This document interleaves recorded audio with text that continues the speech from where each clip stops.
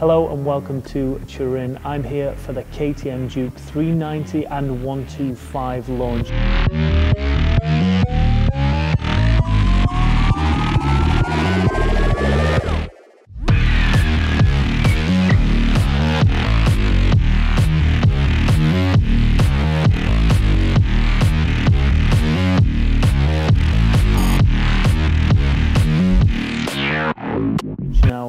Those automotive aficionados out there might realize that Turin is the home of the Fiat factory, and I'm actually sat in the old Fiat factory. It's been converted into a hotel, and this is where the launch has taken place. We were upstairs in the hamster ball for the presentation. That was awesome. And then we've also been test riding the bikes on the Fiat test track up on the roof. That was insane insane. So not only is this place steeped in a rich history of Fiat and all things automotive, but it's also in the heart of Turin. And I think KTM did that on purpose. We headed out first thing in the morning, 9 a.m. on the 125, and we were straight into rush hour traffic. And I don't think that was by accident. I think they planned to do that to really get the 125 in its natural habitat where they think it will excel. And to make it even more authentic for us Brits, guess what? It rained.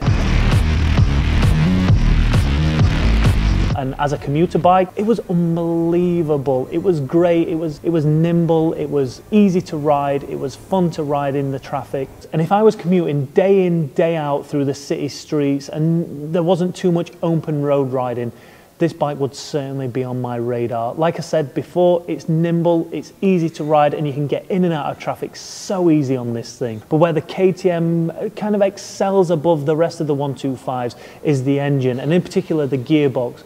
Now, I've ridden plenty of 125s that have had slack gearboxes, false neutrals, invisible neutrals, and just gearboxes that don't really inspire confidence. Whereas this one, this, this felt like it, it was it was out of a bigger bike. It was always a nice solid gear change, and finding neutral was a breeze every single time. And I don't actually think I hit a false neutral all day, so that's really good. Another area this 125 takes a step above the rest of the crowd is the styling. It looks awesome, it's aggressive, it looks powerful, and to the untrained eye, the 125 could easily be a Super Duke 1290. There isn't a great deal of difference in it. Now, obviously, to you and me, we'd know the difference, but anybody else, I don't think they'd notice. For a commuter, looks aren't really on the top of the priority list. But for a 17 year old on an A1 license, you've got to have a bike that looks good. And this is one of the bestest looking 125s you will get. It handles great. The 15 brake horsepower engine has plenty enough poke. I really enjoyed blasting around the city streets on this 125. It was a whole lot of fun, even though it rained. LED lights all round, a TFT screen and WP suspension.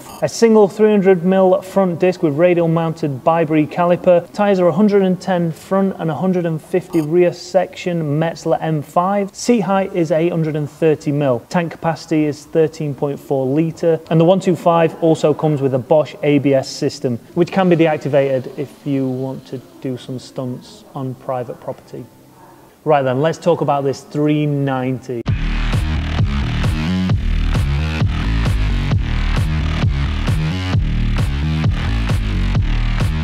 Compared to the 125, there's not a great deal of difference in size or in looks, but the fun factor between them is huge. Let me hit you with some of the facts. 370cc, 44 brake horsepower. It's the same four-pot caliper as a 125 with an upgraded disc up to a 320mm and upgraded pads which make those brakes much stronger.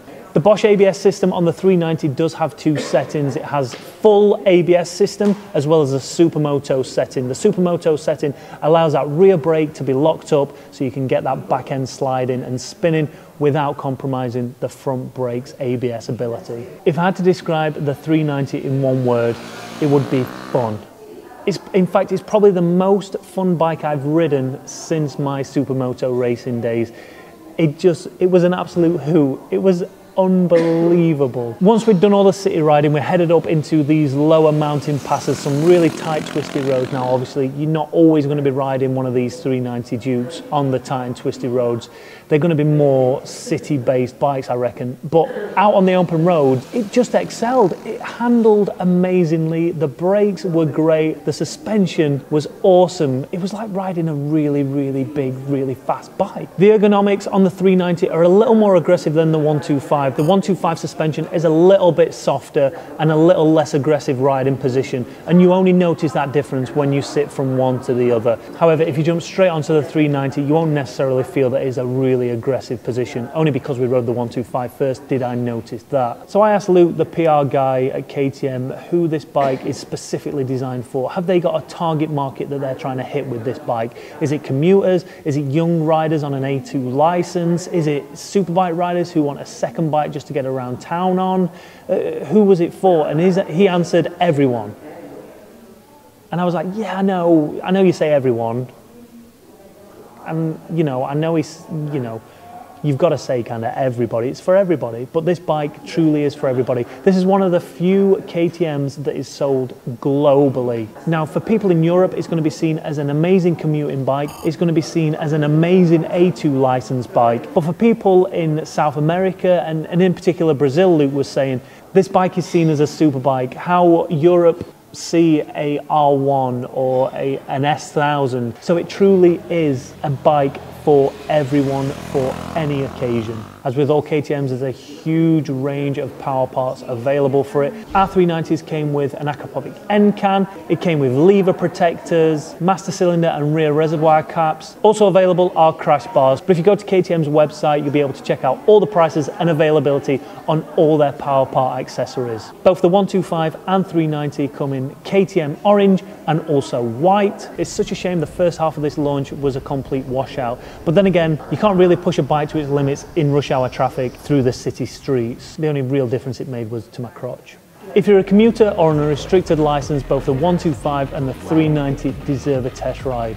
KTM are stepping it up and taking it to the big boys.